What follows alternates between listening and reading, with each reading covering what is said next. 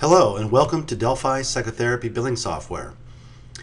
This is a mini series of videos, 10 videos, designed to provide you a brief introduction to the program. The idea here is that the program should make sense to you in about 10 minutes and you should be fairly wowed by the whole process. Uh, when opening Delphi, the first thing you are always presented with is your main client list or patient list. Uh, here we have all of our clients listed alphabetically. We can sort them in uh, any other mode by simply grabbing uh, the column header, for example, user code. I'm clicking on that with my mouse and dragging it over to the left, and you'll see that the list is now sorted by user code. I'm going to sort by full name, so I'll move that back.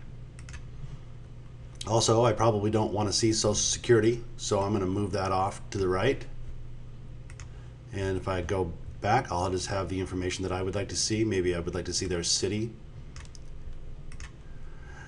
Uh, several other things about this screen is you can simply click on the client you would like to work on or you can search for the client. For example, if we'd like to find Freud quickly, obviously you'll probably end up with hundreds of clients or thousands in some cases. We just, on the search, we type F-R-E and there's Freud. Uh, if we want to clear the search, we can just hit the up arrow or down arrow key on our keyboard, and maybe we want to find uh, Johnson, J-O-H. And here are our Johnsons. We can use our arrow keys on the keyboard to highlight the correct person, our mouse. Uh, we're going to go back to the first client in this list. And uh, from this screen, uh, you are able to access all features of the program. This is quite a bit different than most programs in that most software forces you to go to various modules that are located elsewhere in the program. That's not the case with Delphi. Everything takes place from this one spot.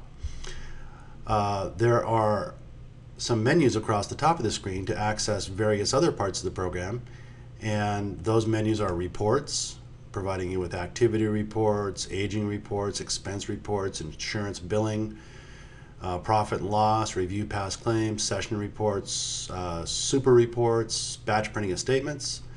Uh, there's a utility section for performing system-wide stuff like backing up and restoring your data, etc.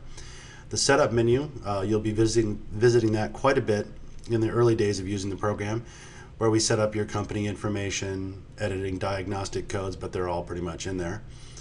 Uh, setting up some insurance companies, uh, You'll want to be editing a few of your procedure codes to put the, put the correct charges in. Uh, you can define referral sources, referring physicians, etc. And there's help features here, uh, checking for latest updates in the software, uh, user manuals, tips of the day, that kind of thing. So that's the main screen in Delphi.